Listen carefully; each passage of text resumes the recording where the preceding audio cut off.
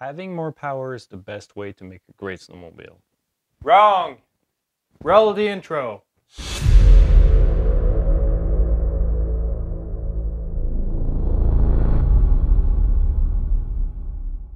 Last season I made two of the most insane RC snowmobiles I've ever made on my channel. And if there's one thing I learned during that time, and something that I want to teach you today, is that having a lot of power is severely overrated. Let me explain. Schottky, a one-of-a-kind, engineered specifically to be ultralight, homemade built remote control snowmobile, weighing only 2.8 kg, and Decagon at over 10 horsepower, standing there as the most powerful remote control snowmobile ever. If I would only have to keep one as a daily driver, it would be Schottky. I had the chance to drive both units for a decent amount of time. Schottky is like the perfect workhorse. It's always reliable, predictable, it's always there when you need it.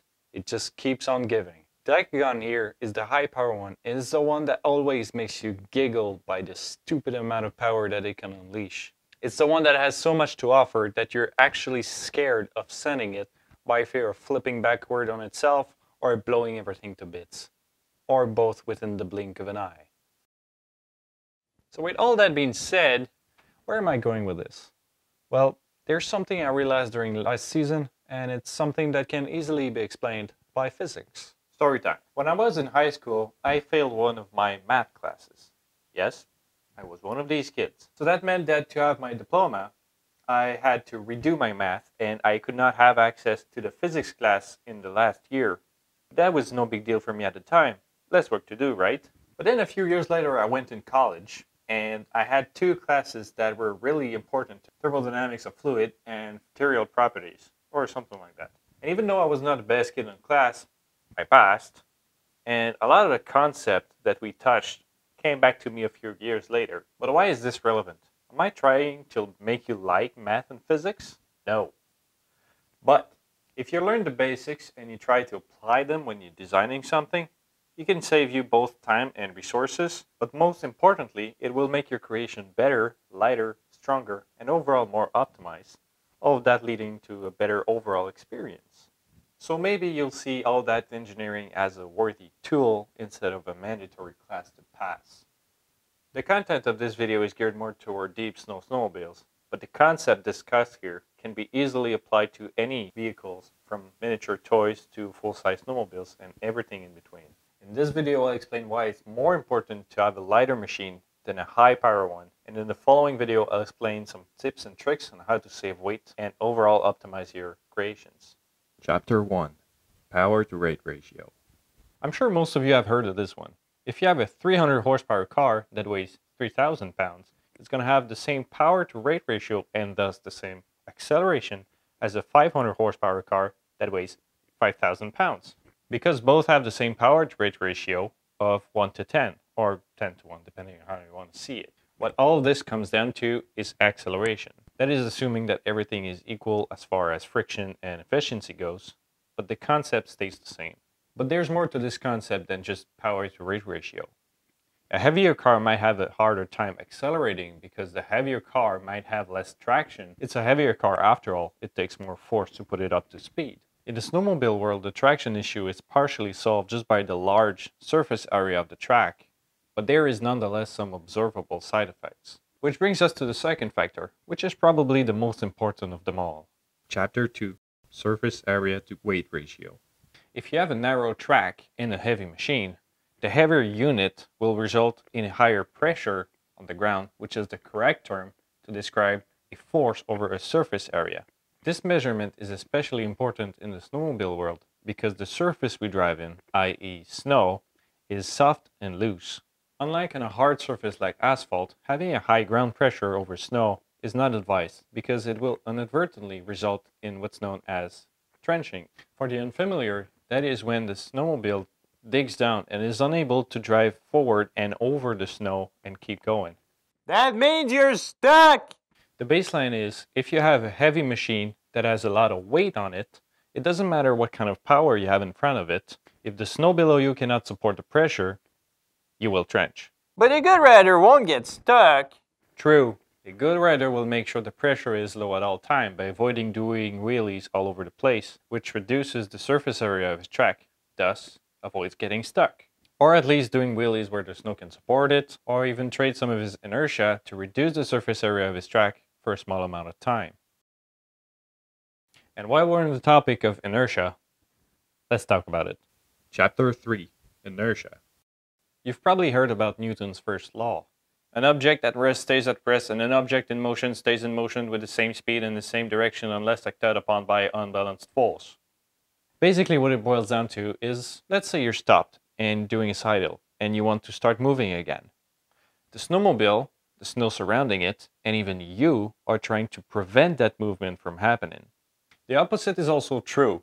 If your snowmobile is going forward and you want to slow down, the snowmobile wants to keep going and it would keep on going forever if it was not for the friction happening all over it. We're talking air drag, track friction, the wheels, even the oil in the chain case is trying to slow you down. That is why you eventually come to a stop in the real world. But the inertia is still there. This is all good and sweet, but what I'm interested here is lateral forces, or steering forces basically. Let's suppose you want to change direction. Power has nothing to do with it, but the mass of the snowmobile does. Let's say you have a snowmobile that weighs 2.8 kilograms like Schottky. And you want to turn at a rate of 0.08 meters per second. You can calculate the force to turn at 0.224 newtons. Now, let's take the same turning radius, but apply it to Decagon, which weighs about 4.5 kilograms. Now, the force it takes to turn is 0.34 newtons to do the same work. That's around 60% more. The difference is the snowmobile is requiring a bigger force to do the same work because the mass is also higher and thus more work is required.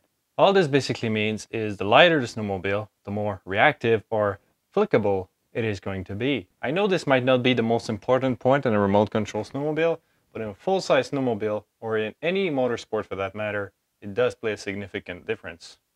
I hope you start to understand why it's important to save weight, but there's one more thing we need to talk about, and it has nothing to do with performance. It's all about reliability.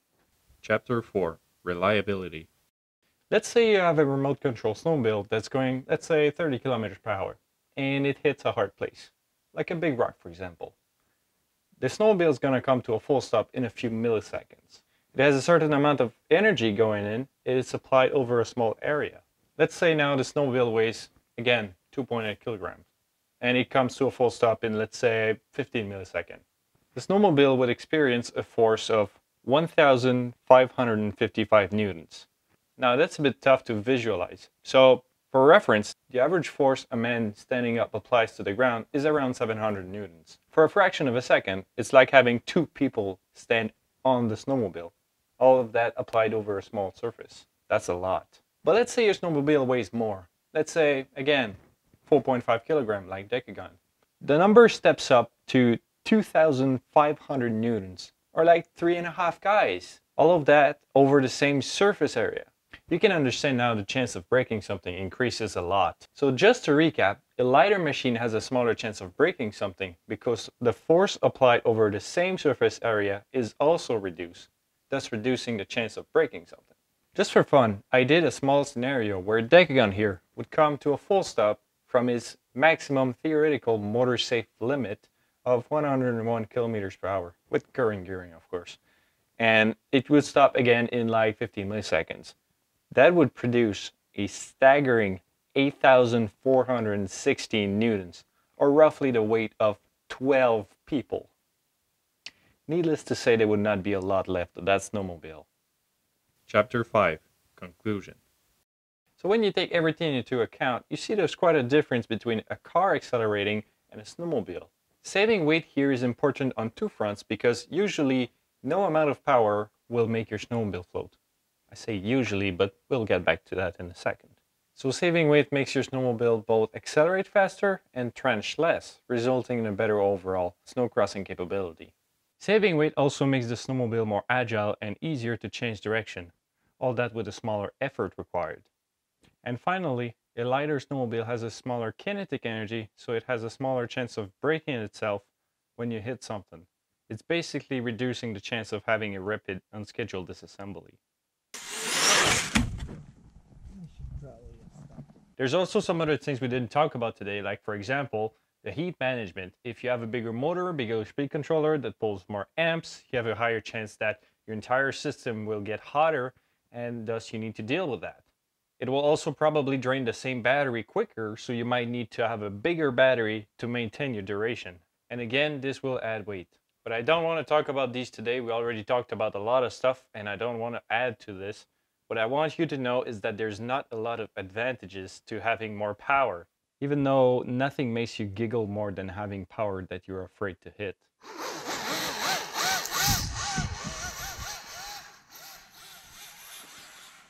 If you liked this video or found some of the information useful, some of your builder's buddy might like it as well, so considering sharing the link.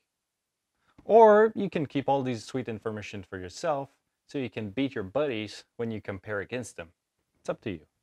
That being said, I'll do a video soon explaining how to make a lighter snowmobile and give some tips and tricks on how to do it. Prepare yourself this year. I'm saving weight for real this time. See you soon. I say usually no amount of power will make your snowmobile float, except in some rare scenario where you have so much track speed and so much power, then the sheer force of the snow getting swung out propels the snowmobile forward. Woo! Rooster tails. After all, Newton's third law, for every action there's an equal and opposite reaction. Science. Legend says Newton was a snowmobiler.